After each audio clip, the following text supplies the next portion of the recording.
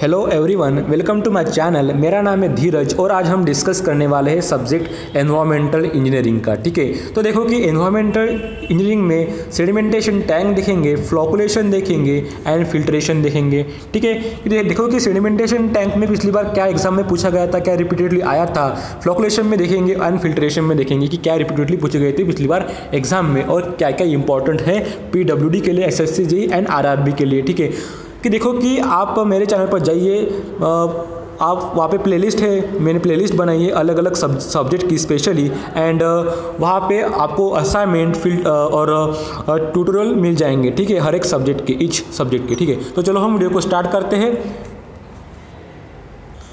कि देखो कि हम पहले देखें पहले देखेंगे हम सेडिमेंटेशन टैंक ठीक है। तो देखो कि सेडिमेंटेशन टैंक में आपको ओवरफ्लो रेट पूछा जाता है। ओवरफ्लो रेट पूछा जाता है एग्ज़ाम में, ठीक है? तो देखो कि ओवरफ्लो रेट क्या क्या होता है, ठीक है? तो देखो कि सबसे पहले मैं यहाँ पे दो कॉलम बना लेता हूँ। सिंपल है यानी दो ही सेंट दोनों दोनों दोनों कंडीशन के लिए यहाँ पे दिया है कि पहला है कि for plain sedimentation for plain sedimentation और सेकंड है आपका फॉर सेडिमेंटेशन विथ कोएगुलेशन ठीक है? फॉर सेडिमेंटेशन विथ कोएगुलेशन ठीक है, मैंने यहाँ पे दो कॉलम बना लिया कि देखो कि आप for plain for plain sedimentation के लिए आपको जो ओवरफ्लो जो रेट आपको ध्यान में रखना पड़ेगा, वो है आपका twelve thousand twelve thousand to eighteen thousand eighteen thousand किसमें होगा? Litre per metre square per day में होगा। ठीक है, आ गया इतना समझ में। देन आपको बोला कि फॉर सेडिमेंटेशन विथ कोएगुलेशन उसके लिए आपको ओवरफ्लो रेट पता रहना चाहिए। वो है आपका twenty four thousand twenty four thousand to thirty thousand thirty thousand litre per metre square per day होगा। ठीक है, आपको बस इतना आपको ध्यान में रखना है इस सेडिमेंटेशन टाइम में। ठीक है, यानी ओवरफ्लो रेट ठीक है, देन है आपका कि डिटेंशन टाइम ये होगा आपका ओवरफ्लो रेट ठीक है तो तो तो तो देखो कि आपको ओवरफ्लो एक मिनट मैं आपको ओवरफ्लो रेट का थोड़ा डेफिनेशन बता देता हूँ, ठीक है? ये पूछने, पूछी नहीं जाती, पर आपको पता रहना चाहिए कि ओवरफ्लो रेट होता है आपका डिस्चार्ज अपॉन सरफेस एरिया ठीक है? डिस्चार्ज अपॉन सरफेस एरिया ठीक है?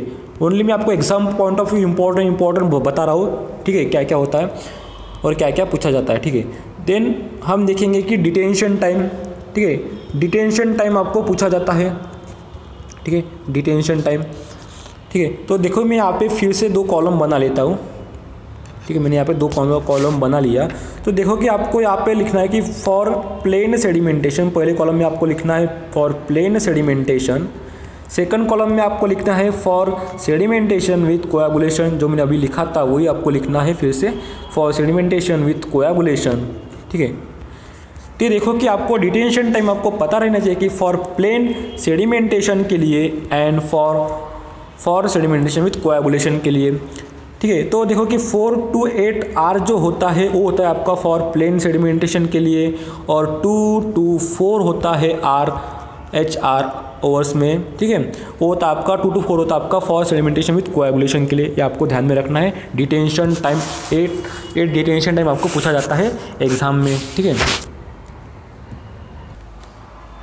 देना है आपका कि फ्लॉकुलेशन ठीक है? तो देखो कि फ्लॉकुलेशन में आपको क्या क्या ध्यान में रखना पड़ेगा, ठीक है? तो सिंपल आपको फ्लॉकुलेशन में आपको डिटेंशन जो टाइम होता है डिटेंशन जो आपका टाइम होता है यहाँ पे मैं लिख लेता हूँ कि डिटेंशन टाइम तो डिटेंशन टाइम आपको पता रहना चाहिए कि ten to thirty minute three zero ठीक है? थर्टी मिनट ये जो होता है आपका डिटेंशन टाइम ओनली फ्लॉकुलेशन के लिए, ठीक है? देन आता आपका सेकंड टॉपिक फिल्ट्रेशन ठीक है? तो देखो कि फिल्ट्रेशन में दो टाइप आते हैं। पहला आता आपका slow sand filter slow sand filter then आता आपका rapid sand filter rapid sand filter ठीक है? फिल्ट्रेशन में क्या क्या क्या क्या है? Slow sand filter and rapid sand filter ठीक है? तो देखो कि दोनों के लिए आपको अलग अलग से कंडीशन आपको ध्यान में रखना पड़ेगा। ये आता है एग्ज़ाम में और आया भी है, ठीक है? तो चलो, हम पहला डिस्कस करते हैं कि स्लो सैंड फ़िल्टर ठीक है? मैं यहाँ पे लिख लेता हूँ कि स्लो सैंड फ़िल्टर ठीक है? तो देखो कि स्लो सैंड फ़िल्टर में आपको क्या क्या ध्यान में रखना पड़ेगा, ठीक है? तो देखो कि स्लो सैंड फ़िल्टर में आपको सबसे पहले आपको ध्यान में रखना पड़ेगा कि depth of the sand depth of sand. जो आपकी सैंड की जो आपकी डेप्थ होती है, वो रहती है आपकी ninety to one one zero centimetre, ठीक है? 110 सेंटीमीटर ये होती है आपकी डेप्थ ऑफ़ द सैंड, ठीक है? देन है आपका सेकंड टॉपिक सेकंड पॉइंट है आपका कि जो डेप्थ ऑफ़ जो फ़िल्टर होता है, डेप्थ ऑफ़ फ़िल्टर, ठीक है? डेप्थ ऑफ़ फ़िल्टर आपको ध्यान में रखना पड़ेगा 2.5 टू 3.5 सेंटीमीटर, ठीक है 2.5 टू 3.5 सेंटीमीटर। और आपको नेक्स्ट पॉइंट आपको ध्यान में रखना पड़ेगा, जो प्लान जो एरिया होता है फ़िल्टर का प्लान एरिया ऑफ़ फ़िल्टर मैं यहाँ पे लिख लेता कि plan area of the filter वो रहता है आपका hundred to two hundred metre square hundred to two hundred metre square आपको ये पॉइंट आपको ध्यान में रखना पड़ेगा। और लास्ट के दो पॉइंट बचे हैं ठीक है? नेक्स्ट पॉइंट आपका फोर्थ पॉइंट है आपका कि डिज़ाइन पीरियड आपको डिज़ाइन पीरियड आपको ध्यान में रखना पड़ेगा। हम कितने पीरियड के लिए इसको डिज़ाइन करते हैं? टेन ईयर्स के लिए हम इसको डिज़ाइन करते हैं। आपको ध्यान में रखना पड़ेगा। इज़ द मोस्ट इंपॉर्टेंट ये आया है एग्ज़ाम में। और देखो कि फिफ्थ आपका लास्ट पॉइंट है आपका कि फ्रीक्वेंसी जो होती है क्लीनिंग की, जो फ्रीक्वेंसी रहनी चाहिए आपकी क्लीनिंग की फिल्ट्रेशन के लिए वो रहनी चाहिए आपकी वन टू थ्री मंथ कितनी कितनी रहनी चाहिए? वन टू थ्री मंथ आपकी ये फ्रीक्वेंसी रहनी चाहिए क्लीनिंग की, ठीक है? ये होगा आपका ओनली स्लो सैंड फ़िल्टर के लिए।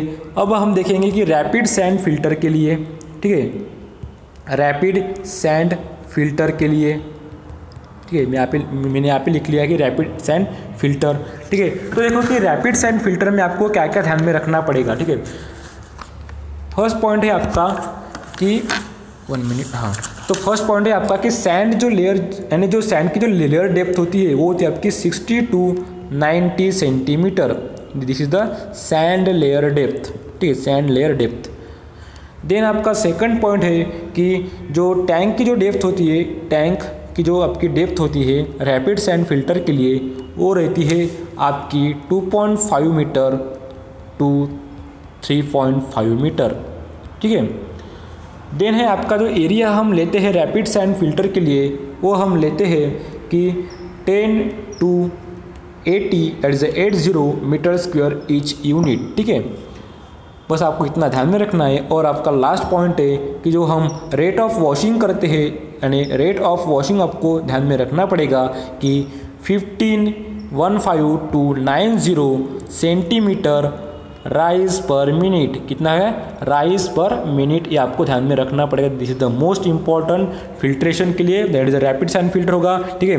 फिल्ट्रेशन में क्या होगा आपका? Slow sand filter rapid sand filter ठीक है? एंड बस दोनों ये कि slow sand filter and rapid sand filter आपको दोनों की कंडीशन में आपको ध्यान में रखना पड़ेगा। ठीक है? Thanks for watching this video मिलते हैं अगले लेक्चर में। जो भी नए लोग इस वीडियो को देख रहे हैं तो प्लीज़ आप लाइक की सॉरी सब्सक्राइब कीजिए। सब्सक्राइब करने के बाद आप आप, आप हमारे साथ कनेक्ट होते हैं।